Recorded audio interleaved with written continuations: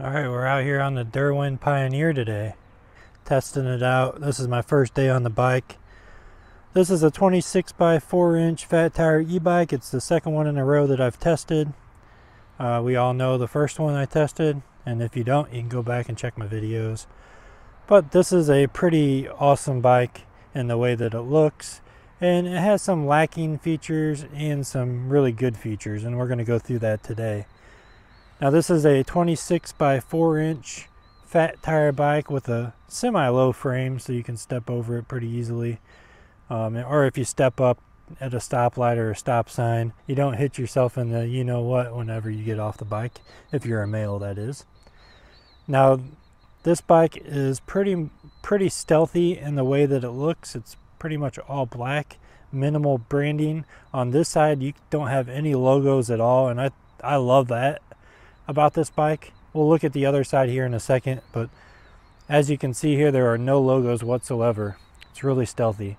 If I took the bag off, it would probably even be even more stealthy. Um, but it does have reflective striping on the tires, which stands out. But other than that, this is what it looks like. Now we'll get a little bit closer here. Now I'm going to take this battery off. It's right here. I'm going to take that off. But as you can see, the frame's all black. It's kind of like a matte black color. Now these are no-name tires, at least from what I can tell. They do say that they're Kenda tires on their website. I think they're Innova tires, which they have some branding on the tire that you can barely see. I don't even know if my camera will pick it up. It says Love Tire here, and then it says Innova. So these are not Kenda tires. They do look exactly the same. I don't know if they're as well made as the Kenda tires, but the last bike I reviewed had Kenda tires that looked exactly like this. So just want to point that out. They do advertise these as being Kenda, but things change in the industry and you don't always have the ability to put everything that you say on the website on your bike. But I just wanted to mention that. So no Kenda tires on mine. I just got this bike in a couple days ago, just unboxed it yesterday after work. The cool features about this bike that are a little bit different than the last bike that I tested. As you can see down here, we have the cool headlight. It's got a dual beam and it looks like it's pretty bright. You can't tell in video, but in person it looks like it's going to be pretty bright at night. Now there is a rear tail light as well and this one has a little bit different of a brake feature and I'll try to demonstrate that. So it actually flashes when you have the uh, brakes pulled. And it does that with the lights on and the lights off. Now this doesn't come with the bag that's on the back. I usually take all the accessories off when I do these types of videos, the first impression videos. But I got a bunch of camera gear because I'm shooting some video on this bike of course. And I wanted to carry it with me without having to wear my backpack and the rear rack's always good for that. Now it does have mounting points right here for a front rack, which they do sell on their website. So if you do pick up this bike, looks like they have those available. So that's pretty nice. It does have suspension forks with adjustable locking suspension. I currently have it on the softest setting. It rides pretty well from what I can tell just off my first four or five miles on the bike. And then we have the preload adjustment over here on the other side. So you can adjust the rebound on that. Again, there are no logos on this side. You don't see any branding whatsoever. The only branding on this bike, as far as the brand of the bike goes, is right here. And it's kind of hard to pick up, but it says Dirwin right here. And then down here it says Pioneer. That might be, yeah, you can see that on camera. So, pretty neat looking. You won't really be able to see that very well when you're um, out on the trail or riding around the street or anything. It doesn't really show up from far back. And I like that. I think that really sets the bike off me personally, I don't like any logos on my bike, and uh, the fact that it barely has any is really cool. Now it does have an Altus derailleur in the back and the motor in the back is Dirwin branded and it's a 750 watt hub motor. The crank right here, and the chain ring, it uh, is not double walled so you always have the tendency of your pants getting caught in this or the chain flopping off when you're riding. Although it doesn't happen often. As long as you take care of your bike and you make the necessary adjustments and do the maintenance, you should be all right with this. Now it does have a set of Wellgo metal pedals on here, which most every e-bike that I review has these and they're they're decent they do their job you can always upgrade these at a later time it does have the plastic fenders which is my preference because they don't make very much noise when you get rocks and dirt and mud up in there. It does have an integrated rear rack as you can see. I got my back strapped on there. It's standard size. Uh, most every bike bag is going to fit on there. It has 180 millimeter rotors with Logan hydraulic brakes. So here's the hydraulic brakes. You literally can squeeze these with one finger and you'll stop. I love hydraulic brakes and this is a well-known brand and works really good. Doesn't come with a mirror, it doesn't come with the phone holder or the headlight, the one on the handlebars. So these are leather ergonomic grips. It's got the palm rest here when you're riding. That's really comfortable. They're really soft. Um, seem like they're decently made. Some of these you get, they're kind of cheap and the, the webbing's coming off but these are really nice. This is just your controls for your screen and I'll show you how all that works in just a second. Over here we got your 7-speed Shimano shifter. It's got a half twist throttle. So if you're on PAS 0, as we are here, your throttle doesn't work. I like that feature because I'd like to be able to shut this off if I needed to. It basically eliminates the need for a button or anything like that and then some are just enabled all the time no matter what PAS level you're in. If you're in zero, then it's not going to work at all, but if you're in zero on some of the other bikes, it works in every PAS level. So this is the screen. It's kind of hard to see right now, but here it is. As you hit the up and down button, it changes the modes. So it goes from 0 to 5. 0, it basically tells you it's off. 1 tells you it's in economy mode. Low for 2, normal, high, and then power. So 5 of course is your most of your power is going to go to that. And then it changes the color of the screen um, as you go through those different levels. It does have a battery meter here. It tells you your percentage of your battery. No voltage gauge or anything like that that I can see as of right now. Has your speedometer right here and this little dial moves when you're going.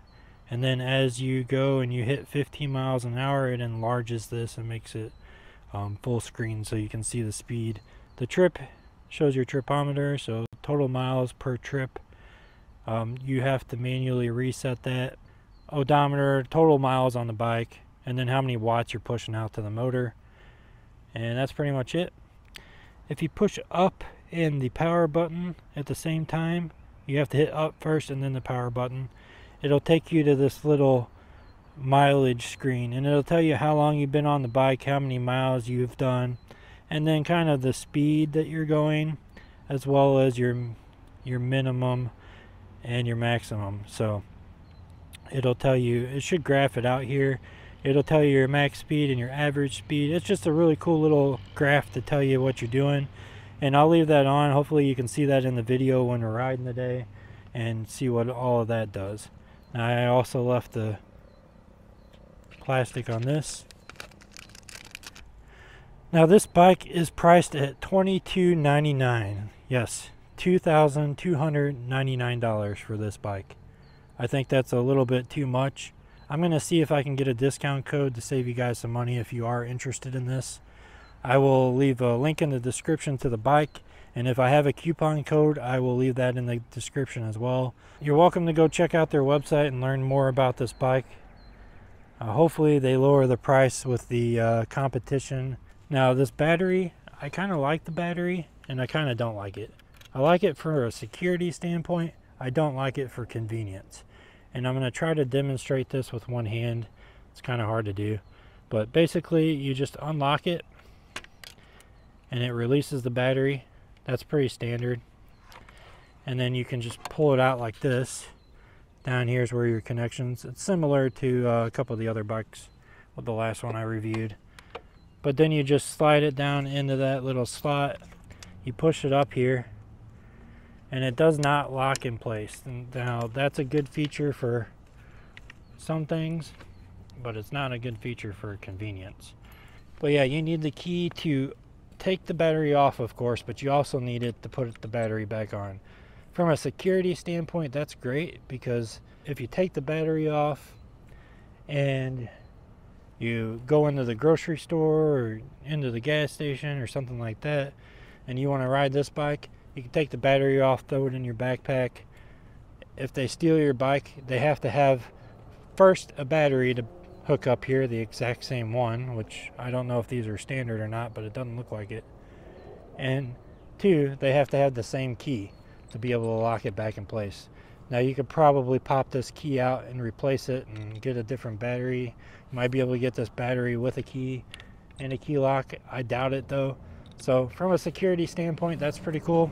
And I like the fact that they actually have the controller mounted in the back where you don't have to really worry about water splashing up on it when you're riding. My other bike has it mounted up in this section right here. And that's, I don't really like that, but I do like it the way it's mounted here. It does have a derailleur guard, which is, I wish every e-bike company would just throw those on their bike to protect during shipping and during riding if you hit a curb with your derailleur, you can really mess it up and have to completely replace it. And if you have a de derailleur guard, then you don't have to worry about it. One thing I don't like about this bike is that you can get pedal lock. Because the kickstand is here, if your pedal gets locked, you can't you can't just kick the kickstand up. See how it's getting stuck? That's a big no-no. Now they they could have welded a piece back here, added a kickstand back in the back like most bikes. Now, in the middle, it really does help with holding the bike up better. So from that standpoint, you can see I can balance my bike and my handlebars stay in place and that's nice. But I don't like the fact that you're going to have pedal lock whenever you're uh, out. Usually when you have it mounted back here, you can, you know, turn your pedals all the way around. You can see that in my last video as well. But that's the bike, the Dirwin Pioneer. If you have any questions or you want to see more about the bike or if I missed anything, just leave a comment down below.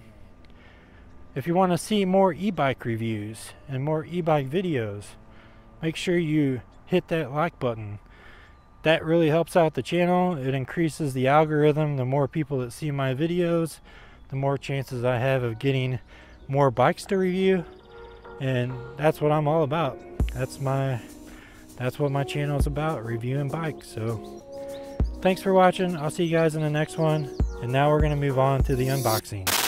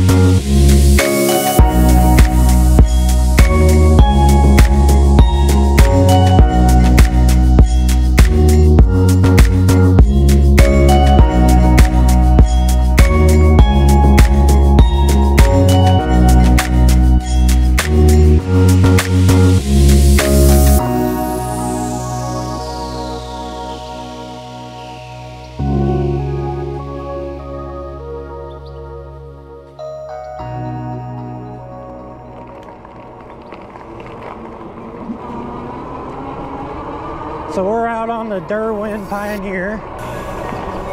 This is a 26 by 4 inch fat tire e-bike. So this is my second 26 by 4 inch fat tire bike that I'm reviewing in a row. The first one was a Magicycle Cruiser, which I'm going to continue to make videos about because I love that bike so far. This bike has some components that are a little bit better. Um, then it has some things that are not a little bit better. Now this is not a comparison video for the Magicycle Cruiser by any means. This is just a initial impressions of the Dirwin. So this is the Dirwin Pioneer. Dirwin makes two bikes. They also have another model. You can go check their website if you want to look at that. I literally just hopped on the bike today take it for a spin. I did ride it around my parking lot whenever I first unboxed it, but I did not take it out for a good long spin like I am today.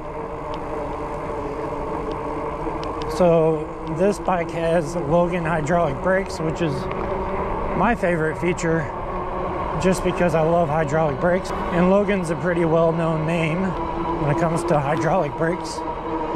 And so far they're uh, exceeding my expectations so far. Now the screen on the Dirwin is unlike any other e-bike screen I've seen. It does have a couple cool features, but as you can tell, the screen changes depending on your speed. So as you're increasing your miles per hour, the screen changes once it hits 15 and enlarges so you can see your speed. And it basically just shows the speed and that's it until you drop below 15, which is pretty cool. Now you do sit a little bit further forward on this bike, like you're leaning more compared to the other one I have. Now it does have the ability to change the speed limiter settings. I don't know if you can change it that much. And I'll explain that in just a second as well. But I currently do not have the passcode, so I did look online and I checked the manual and I couldn't find it anywhere. From what I read in the manual, the fastest it can go is 35 kilometers per hour, which is 22 miles per hour.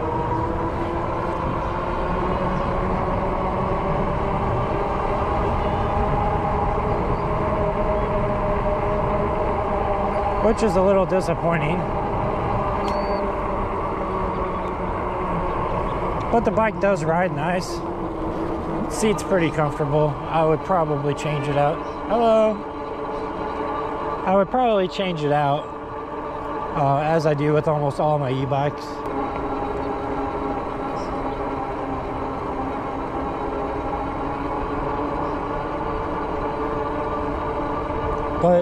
Considering this is only a 750 watt 48 volt system you're not getting a lot of power out of this bike no matter what. Now you probably could increase the speed but as far as torque and all that this is what you're seeing is what you get.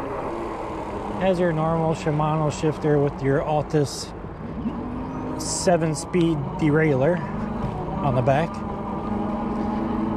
most e-bikes have something like that or similar.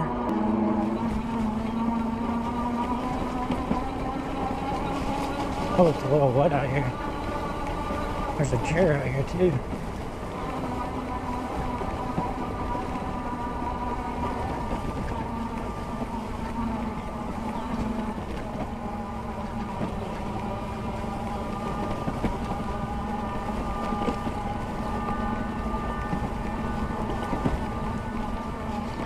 I did tighten up the suspension some, so I probably need to fix that a little bit. I uh, can lean down here and change it actually. Let's put it on the softest.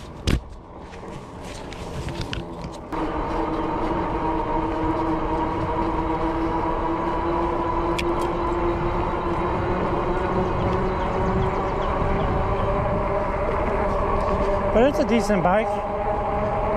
Again, it rides pretty well.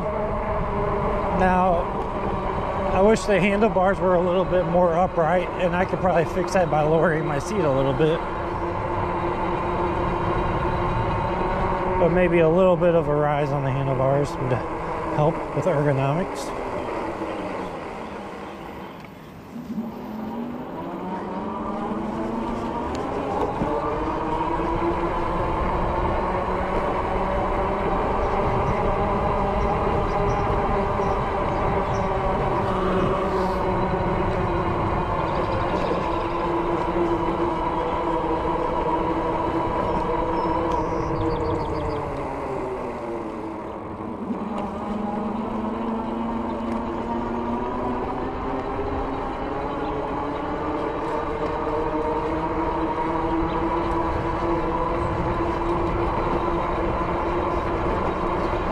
Now coming from a 52 volt bike to a 48 volt bike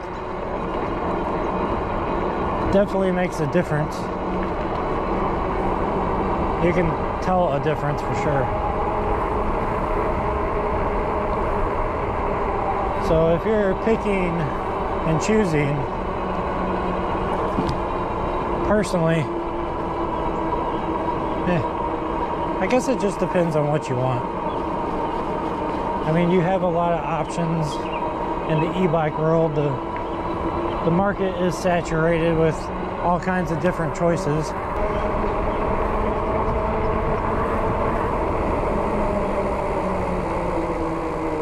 But I really do like these hydraulic brakes.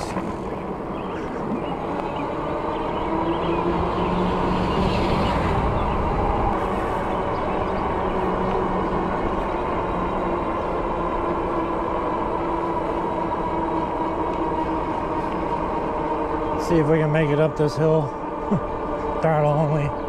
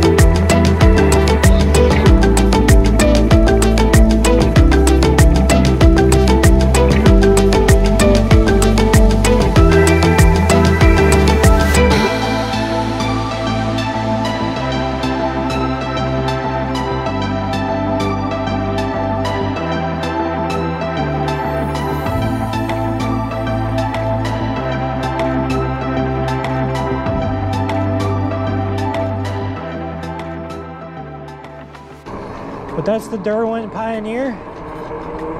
If you want to know anything else about this bike, let me know. I'd appreciate it if you thumbs up this video. It really helps out the really helps out the channel and provides the algorithm the numbers it needs to boost this video up. So the more likes I get on this video, the better the video does. If you have any questions or you want to know anything more about the Dirwin Pioneer, make sure you go down to the comment section. Let's talk about it. I'll answer any questions you have, or if you have questions about anything else, you know, comment down below as well. I'm here all the time. I'm available in the comment section all the time. So I always look for your, your questions and your comments. But until then, I'll see you guys in the next one. Make sure you subscribe to see more, and I'll see you in the next video. Have a good day.